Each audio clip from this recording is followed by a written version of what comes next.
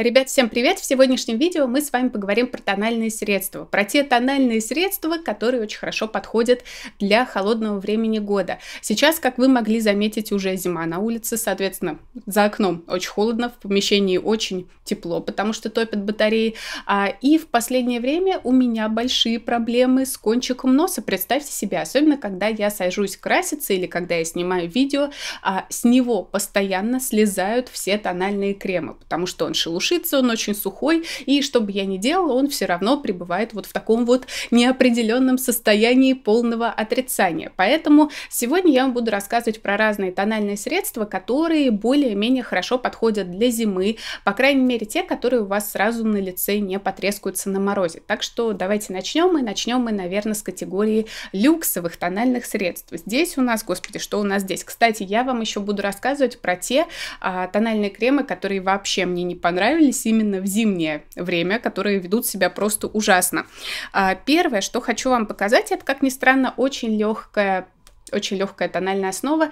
А, это вот такая вот а, основа, которая называется Beige от Chanel. Я ее покупала летом, и вообще это, ну, можно сказать, это знаменитая Vita Lumiere Aqua, но а, именно в формате такой вот летней лимитки она была выпущена, но по сути они почти одинаковые. Она очень легкая, она такая вот как водичка, в ней содержатся светоотражающие частички. Как вы могли заметить, вообще те тональные а, кремы, которые более матирующие, они обычно подсушивают кожу, кожу, ну, по крайней мере, в них нет каких-то там питательных веществ, ну, как правило, опять же. И, соответственно, на морозе они себя ведут хуже, потому что если кожа и так уже такая обветренная, сухая, то они еще ее больше начинают вот так вот прям, вот так вот драть, можно сказать, а, и выглядят не очень хорошо. Поэтому, если говорить про вот такие вот тональные для зимы, то это скорее более а, с каким-то сияющим финишем или, по крайней мере, с сатиновым финишем. Ну и вот эта штучка, она хоть и очень легкая, она ложится прям таким тонким слоем, но тем не менее она очень здорово работает зимой. Я так понимаю именно за счет того, что она сильно увлажняет кожу. Дальше хотела вам показать вечную классику. Это MAC Studio Fix Fluid, который а, я очень сильно люблю. Я его в основном на самом деле применяю на съемках, но в последнее время я его полюбила применять и на улицу, потому что он просто тоже достаточно а, хорошо кожу поддерживает в непересушенном состоянии. Потому что сейчас я вам расскажу про одно тональное средство, которое на данный момент мне для улицы вообще не подходит. А у него полуматовый финиш, то есть он такой, ну, знаете, на разных людях он вообще-то по-разному смотрится. На мне он, а, я бы не сказала даже, что полуматовый, он скорее на мне какой-то даже сатиновый приобретает эффект. А, и он хорошо себя ведет в течение целого дня, даже если ходить с ним по морозу. А вот средство, которое не очень хорошо себя ведет, если вы его применяете на данный момент на улице, по крайней мере, я за собой такое заметила, это знаменитый, э, знаменитый W от Estee Lauder. Я его очень люблю, я его постоянно использую для съемок, но а, он матовый, он прям очень сильно матирующий, и когда вы его наносите, он еще у вас на лице через какое-то время засыхает. То есть вот именно, чтобы добиться этого матового эффекта, он как бы превращается в такой пудровый финиш. На морозе он трескается просто нещадно. Он начинает, знаете, вот там, где у вас мимические всякие морщинки или какие-то вот эти линии, которые, ну там, улыбка, да, на этих местах он как раз начинает так все, и пошли такие вот трещинки, как по льду. Выглядит просто кошмарно, но когда я записываю видео, я очень часто им пользуюсь, потому что, ну, соответственно, дома не морозит, дома, наоборот, жал, жарко, и а, на видеороликах он выглядит хорошо. А, есть у него аналог, который, кстати, зимой себя ведет намного лучше. Это вот этот вот а, вариант нюд, он тоже матирующий, но он намного легче, и он не настолько превращается на лице вот прям в такую а, матовую-матовую маску, поэтому если вы любите любите, например, вот этот W, но у вас такие же проблемы, как у меня, вы можете попробовать его более облегченную версию, которая себя хорошо ведет на морозе. Кстати, сейчас вам рассказывала про Шанель и про то, что э, это сияющая тональная основа, которая очень легкая, но тем не менее она себя хорошо проявила. А вот что явилось моим разочарованием, как ни странно, это вот такая вот база метеориты э, Baby Glow от Герлен. Мне она безумно нравилась и весной, и летом, и она вот просто шикарная. Она очень красиво смотрится на лице лице, она придает такое сияние, как и вся вот эта вот линейка метеоритов. Но вы знаете, она делает с лицом что-то просто кошмарное зимой, потому что если у вас хоть где-то есть какой-то кусочек вот этой вот обветрившейся кожи или какая-то сухость, вот там вот она, знаете, концентрирует все свои усилия а, потому, чтобы испортить вам жизнь. И начинает, опять же, трескаться, начинает подчеркивать вот этот вот шелушащийся кусок. И а, один раз мне даже муж сказал, что у тебя что-то так тональный крем вот здесь вот плохо лежит, что произошло? А он обычно такие вещи очень мало обращает внимания. А, и дальше мы переходим, наверное, к категории уже корейских средств. Бюджетной категории мы закончим по традиции. И хотела вам рассказать про три хороших средства и одно разочарование из Кореи. И первое это мой обожаемый биби-крем от Эрбория. Ну, он просто идеален во всех отношениях. Я вам не знаю уже сколько лет про него постоянно рассказываю, и он великолепен в любое время года абсолютно, потому что это а, биби-крем совершенно иного толка, чем вообще обычные какие-то биби-кремы и тональные основы. Дело в том, что у него супер тонкая текстура, он вот такой вот прям, знаете, вообще вы его наносите, вы его абсолютно не видите на лице, если вы еще его хорошо растушевали, а как бы ну, нужно его хорошо растушевывать, то он настолько сливается с вашей кожей, он настолько вообще не подчеркивает никаких шелушений, полностью выравнивает ее текстуру, сглаживает все недостатки. Хочу сказать сразу, что он не предназначен для того, чтобы перекрывать какие-то очень серьезные проблемы на коже, там всякие серьезные прыщики, какие-то вот прям сильные синяки. Но если у вас кожа в нормальном состоянии, то он сделает ее вот практически идеальный. И зимой он точно так же себя ведет, как и летом, поэтому это вообще лучшее, лучшее тональное средство, наверное, за всю мою жизнь, но единственный минус, что он а, все-таки достаточно дорогой. Дальше еще одна классная вещь, это вот этот вот биби-крем от Миши. Когда-то давно я его купила, я не знаю, в Гонконге это было лет, наверное, 5 назад или 4 года назад, может быть. И он тогда был дико популярен, потому что это один из первых, если вообще не первый биби-крем в мире.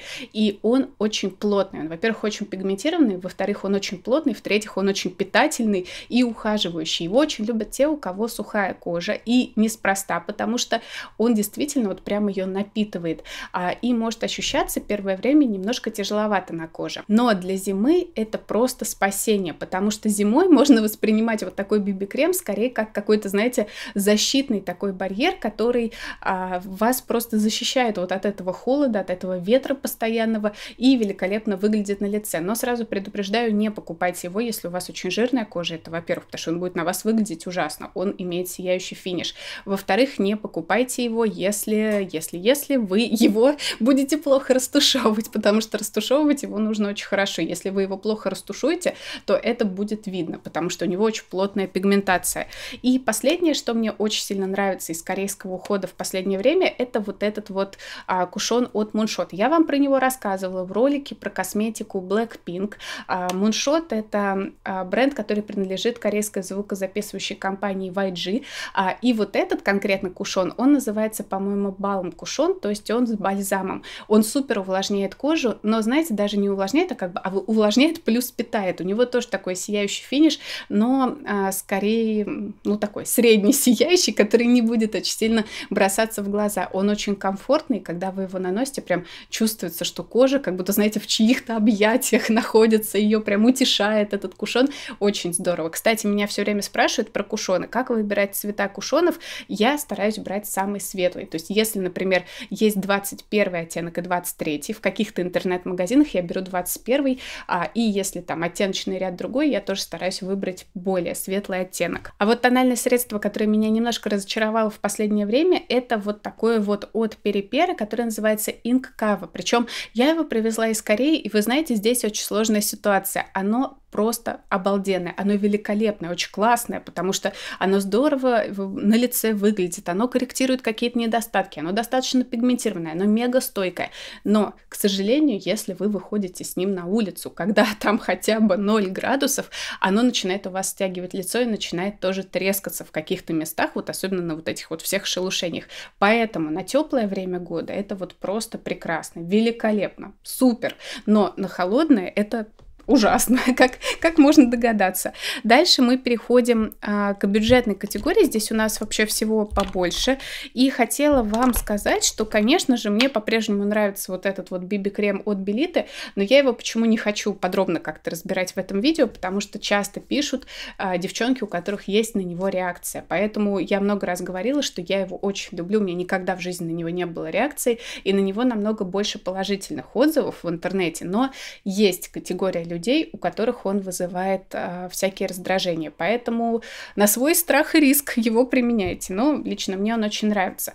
Есть от Белита вот такой вот вариант биби-крем для чувствительной кожи лица, склонной к куперозу. куперозу. Вот это похожая вещь, но немножко другая по текстуре. Она очень легкая, это для тех, кто любит очень легкое покрытие. Увлажняет, питает замечательно, смотрится на лице. Опять же, если нет больших проблем. И для зимы очень хорошо по этим причинам подходит. Плюс для чувствительной кожи, то есть а, по идее нет никаких вот таких вот рисков, которые могут возникнуть вот здесь.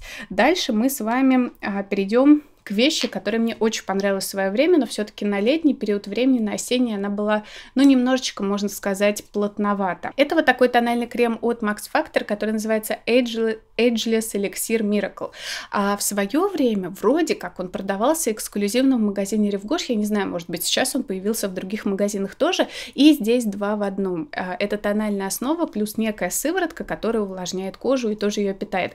Здесь такая муссовая немножко текстура, и он супер супер приятный. Вот смотрите, он выдавливается вот так и прям вот как крем. Кажется, что он довольно плотный. Это действительно так, он плотный, но если вы его хорошенько растушуете, если вы его еще будете наносить влажным спонжем, господи, он еще, знаете, вы наносите его, он такой немножко как водичка, так холодит, а вы его оцените, потому что он действительно просто супер классный. И недостатки перекрывает, ну, конечно, это не супер плотное покрытие, а, и на коже выглядит хорошо, а, и вообще, вот опять же, вот это ощущение, как будто у вас кожа просто в ваших объятиях находится находится и приятно пахнет к тому же. Дальше у нас еще два здесь варианта. А, это вот эти вот матирующие флюиды, один от Катрисы и другой от Эвелин. В принципе, это как бы практически одно и то же, потому что это жидкие тональные средства, а, матирующие оба, но при этом, вы знаете, в них есть немножко масла как ни странно. И, соответственно, за счет того, что здесь есть все-таки масло в составе, он не превращается у вас на лице вот в эту вот маску, которая начинает а, трескаться на холоде. Он хорошо ощущается, он отлично выравнивает а, тон лица. Опять же, это средняя степень покрытия, это не плотный тональный крем, но теоретически вы можете его в несколько слоев наносить, что я вам не советую делать, если вы собираетесь а, на улицу выходить, потому что, во-первых, это видно под солнечным светом, во-вторых, тогда у вас увеличивается вероятность того, что вы а, придете вся в таких вот морщинках морщинках и трещинках домой. Но вот эти вот два средства, опять же, как и биби-крем от Herborian, идеально подходят что на лето, что на весну, что на осень, что на зиму. Они действительно очень хороши. Стоят где-то от 330 рублей там в хорошие времена, когда есть скидки, до, ну, наверное, максимум 500 в самые плохие времена. А, и самое последнее, что хотела вам показать, точнее, из хороших вещей, это вот этот вот The Healthy Foundation от Physicians Formula. Это тональный крем, который на самом деле достаточно легкий. У него средняя степень покрытия, но он прям вот такой легенький-легенький по текстуре. Господи, не могу его открыть что-то я сделала не то, надо было не так открывать, надо было крутить его. И что интересно, у него вот такая вот интересная палочка, то есть он не выливается, вы его наносите прям вот этой вот этим аппликатором, а, и можно его использовать заодно как такой легкий-легкий консилер. Тоже были по его поводу комментарии, что не всем он нравится, но вы знаете, тональные средства это, наверное, самая вообще самая субъективная категория, ну там еще туши для ресниц тоже очень субъективные из всей косметики, то есть если про тени можно говорить про какие какие-то технические характеристики, и примерно у всех они будут так или иначе совпадать, то с тональными средствами у всех просто настолько разная кожа и настолько по-разному себя ведет, что это непредсказуемо. Но мне он очень нравится за то, что он очень сбалансированный. То есть он как бы и достаточно легкий, в то же время хорошая степень покрытия. И сияние придает, и не блестит как-то некрасиво. В общем, хороший реально тональный крем. Единственный момент, что он чуть-чуть подороже. То есть я его включила в бюджетную категорию, но на самом деле он стоит где-то рублей чуть ли не 800. Но опять опять же, если у вас есть скидки во всех вот этих магазинах типа подружки, то вы сможете его купить дешевле. Почему я его хотела вам показать? Потому что он, а, как ни странно, просто идеально работает в паре с вот этим вот органовым маслом, тоже от этой же марки. Я раньше очень опасалась применять вот такие вещи в качестве праймеров, именно масла, но я это именно зимой оценила. Потому что когда вы сначала наносите вот это масло, оно, кстати, не растворяет потом тональный крем, а вы наносите, у вас кожа становится очень им напитанная, и сверху по нему тональный крем ложится просто очень-очень-очень классно. Но, кстати, хочу сказать, что не все тональные средства одинаково хорошо работают вот в таком вот дуэте. Я пробовала разные, и, господи, какой там. Я пробовала, кстати, вот этот, он вот в этой вот связке как-то не очень хорошо себя ведет, он начинает немножечко как-то растаскиваться. Я пробовала вот эти вот два вместе, тоже не работает. Но, например, ну вот с тем же самым, а, господи, вот он, Physicians Formula, вот просто идеально. И теперь хочу еще вам показать напоследок тональное средство, которое тоже вело себя просто отвратительно этой зимой, ну, в конце осени, и которые я не могу рекомендовать на это время года. Это вот такой вот водостойкий тональный крем от Essence, который называется Insta Perfect.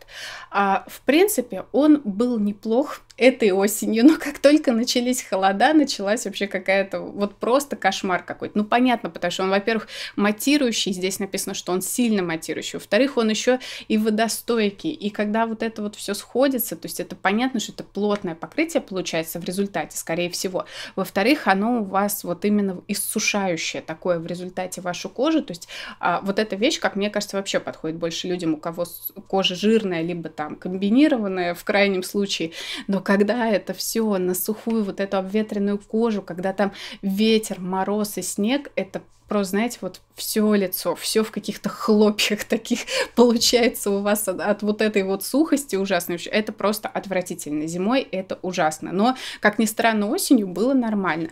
В общем, на этом я заканчиваю сегодняшнее видео. Сегодня у нас так много было тональных средств. Хотела просто с вами поделиться какими-то своими вот последними такими тяготениями и не тяготениями. Надеюсь, что вам понравилось. Кстати говоря, сейчас у меня на лице вот такой вот биби-крем от Холика Холика. Это Холи Поп, причем это сияющий вариант. Тоже очень хорошая вещь. И, как ни странно, кончик носа почти, почти не облупился. Это уже хорошо, а, но он прям вот сияющий дает эффект на лице. Прям сильно-сильно сияет. Я его припудрила, все равно это сияние пробивается. На этом заканчиваем. И я вам желаю сегодня, чтобы у вас ни один тональный крем не облупился облупился на лице, чтобы у вас все сегодня было вот просто, просто вот так вот с макияжем. Спасибо вам и до встречи в следующих моих видео. Всем пока!